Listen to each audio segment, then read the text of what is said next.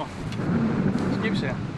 Πάρε αυτό, πάρε αυτό, πάρε και αυτό. Έτοιμος; Έφυγα. Πάμε. Δεν είναι βαριά, απλά είναι λίγο άδικο. Ο δάσκαλος δεν κρατάει τίποτα. Πρέπει να εξοικειωθείς. Άσε εδώ. Από πάνω από τον αετό όλα. Έλα εδώ. Έλα από πίσω. Αυτό είναι ζέσταμα, ε. Αυτά δεν έχει. Α, πες του.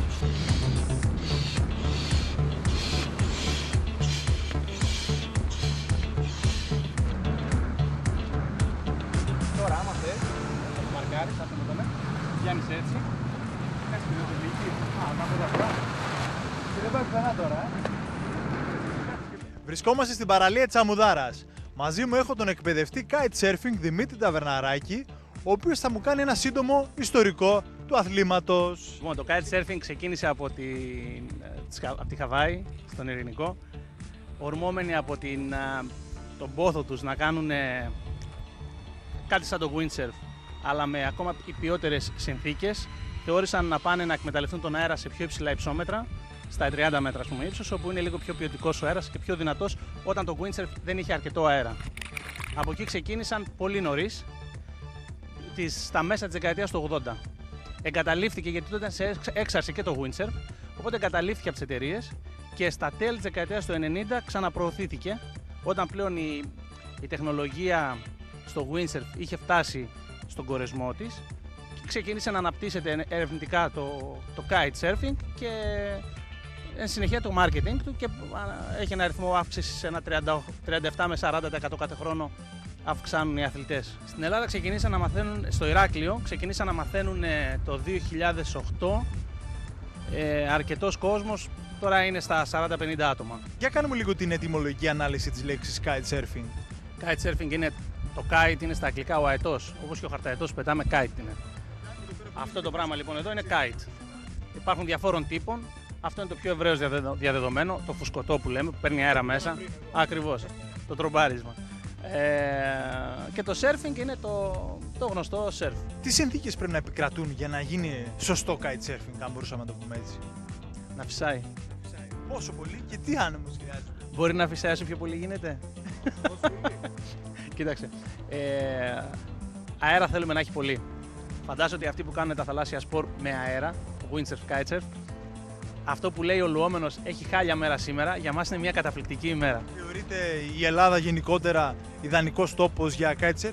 Η Ελλάδα είναι ένας στους 10 καλύτερους προορισμούς του kite παγκοσμίως. Είναι η δεύτερη καλύτερη στην Ευρώπη μετά τη, τα Κανάρια. Ε, φαντάσου ότι το 70 με 75% παγκοσμίως των kiter έχει προορισμό την Ελλάδα κάθε χρόνο. και τουρισμό; Από αυτό το κομμάτι του αθλητισμού. Αυτή τη στιγμή ο πληθυσμός του kite είναι γύρω στα 2 εκατομμύρια παγκοσμίως και το 70% εξετάζει να έρθει στην Ελλάδα για διακοπές. Ποιος είναι ο απαραίτητος εξοπλισμός για να γίνει το kitesurfing. Απαραίτητος εξοπλισμός είναι τα ατομικά μέσα προστασίας, ένα γυλαίκο ε, για να πλευστότητας, ε, το κράνος μας, ο αετός μας, ο εξοπλισμός του αετού, τα σκοινιά του και η μπάρα του, δηλαδή η μπάρα και τα, τα σκοινιά πάνε μαζί με τον αετό, ε, το harness που βάζουμε στη μέση, που ουσιαστικά παραλαμβάνει τα φορτία και τα φέρνει στη μέση μας. Τα φορτία δεν έρχονται στο χέρι όπως πολλοί κόσμος νομίζει. Δεν τα κρατάμε. Τη δύναμη του αετού δεν την κρατάμε. Δεν είμαστε σε μια συνεχόμενη έλξη ε, με το βάρος μας. Τα φορτία παραλαμβάνονται από τη μέση μας και εμείς απλά χειριζόμαστε το πόσο μεταβο... τι μεταβολή θέλω να έχω σε αυτή τη δύναμη έλξης και να στρίψω τον αετό δεξιά-αριστερά. Από τον εξοπλισμό που μου είπες, ε, αντιλαμβάνομαι ότι ο δείκτης επικινδυνότητας πρέπει να έχει μειωθεί πάρα πολύ. Ναι, ο εξοπλισμός τα τελευταία χρόνια μετά το 2006 που έγινε μια ριζοσπαστική αλλαγή στη γεωμετρία των αετών και οι αετοί μπόρεσαν να έχουν πάρα πολύ, καλά, πολύ καλή αποδυνάμωση. Οι προηγούμενοι αετοί δεν αποδυνάμωναν. Συνεπώς, ό,τι λάθος γινότανε, έπρεπε πάνω στον πανικό του ο αθλητής να πάει το μυαλό του να χειριστεί τα συστήματα ασφαλείας και να αποδεσμεύσει τον αετό από πάνω του, ώστε να νεκρώσει ο αετός. Πλέον έχουν εξελιχθεί τόσο πολύ οι αετοί που απλά σε κατάσταση κινδύνου απλά αφήνω την μπάρα. Υπάρχει κάποιος περιορισμός στις παραλίες που επιτρέπεται να γίνει το άθλημα του kitesurfing. Είναι ένα πάρα πολύ περιορισμένο άθλημα.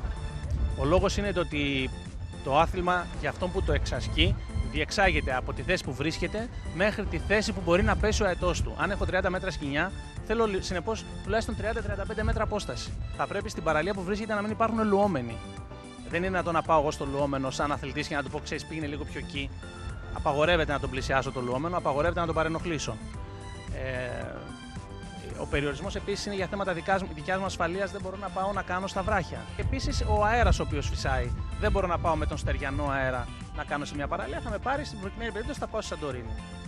Δεν μπορώ να πάω να κάνω. Είναι 83 μίλια, ας πούμε. Θα με φάνε τα ψάρια.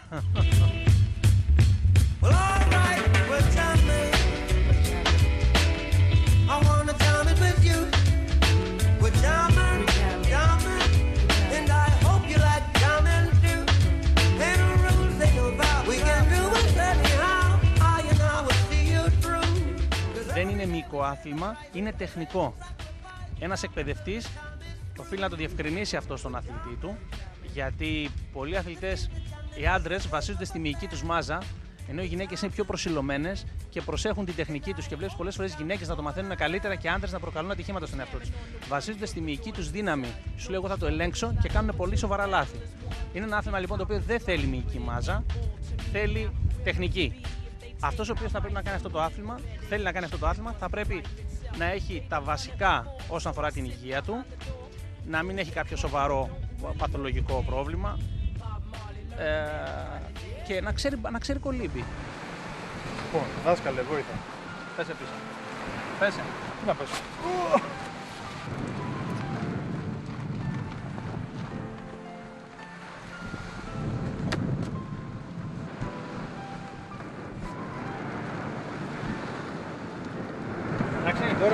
Είμαι κομπλέ. Ωραία. Λοιπόν, αυτό εδώ πέρα που κρατάμε, ε. Ετοιμάζουμε να δώσουμε τον αετό. Απλώνουμε την πάρα. Προς τα κάτω.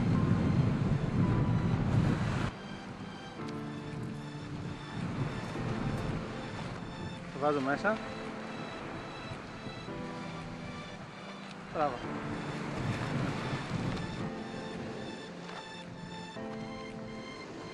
Αφού τα δέσεις, ε; ελέγχεις, μην τυχόν έχει γίνει κανένα λάθος.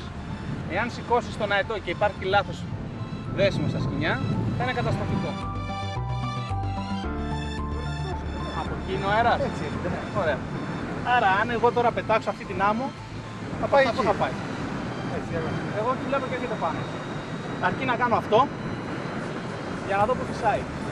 Συνεπώς, η ευθεία του αέρα είδες ποια είναι. Η ευθεία η δικιά σου για το αέτο θα είναι κάθετη στη ροή του αέρα κάθετη στήριο. Ναι. Άρα, πού θα πας, θέλω να έρθεις από ναι, εδώ πέρα.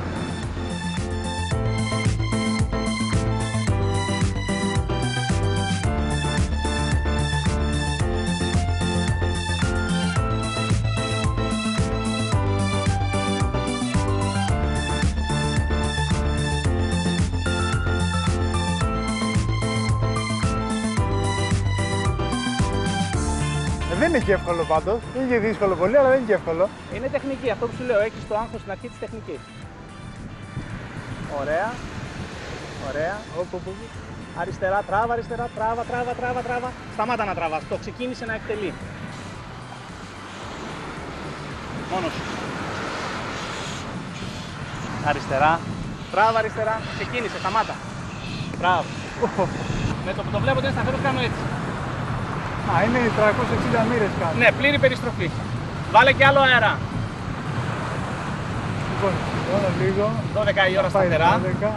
12 σταθερά. Έλα. Stop. Ωραία. Εκεί. Ψηλά τα χέρια. Γρήγορα, γρήγορα, γρήγορα, γρήγορα, γρήγορα, οδήγα. Δεν μπορώ, ρε. Η μισή πέφτει. Ας το πιάσει και τα χέρια μου. οι, οι μισοί τον ρίχνουν τον αέτο όταν το κάνουν. Άντε ρε. Ναι, ρε. Είμαι πάνω από 50%. Έλα, κάνε το 9. Δεν το κάνω. Κάντο. Κάντο, κάντο και γίνα να γελάς την κάμερα.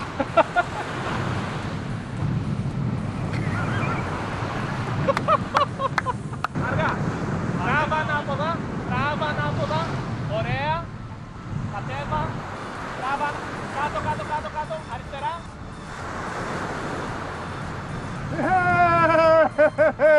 Υποδειγματική Πιαστήκα λίγο τα χέρια, αλλά ήταν επιτυχής η κατάληξη, ωραία. Στην αρχή είχα λίγο άγχος γιατί δεν ήξερα πώς να χειριστώ τον αετό, δεν ήξερα πόσο βαρύς θα ήταν. Είναι αυτό που σου έλεγα νωρίτερα. Πολλοί έχουν αυτό το άγχος και ταυτόχρονα πρέπει να επιπλέψουν και να αναπτύσσουν να μην πάρουν νερό. Είναι ένα άθλημα το οποίο είναι extreme. Το extreme άθλημα δεν κουράζει τόσο μυϊκά. Κουράζει πνευματικά. Είναι η αδρεναλίνη που νιώθω που καταλήγει σε κόπωση.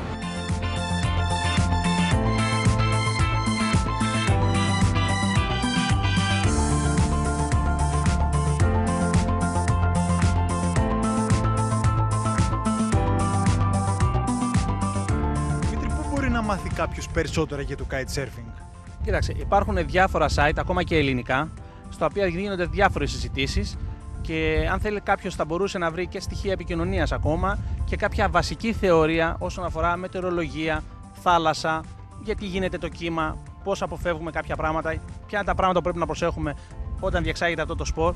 Ε, θα μπορούσε να βρεις στο δικό μου το site στο www.dimitrisurf.com.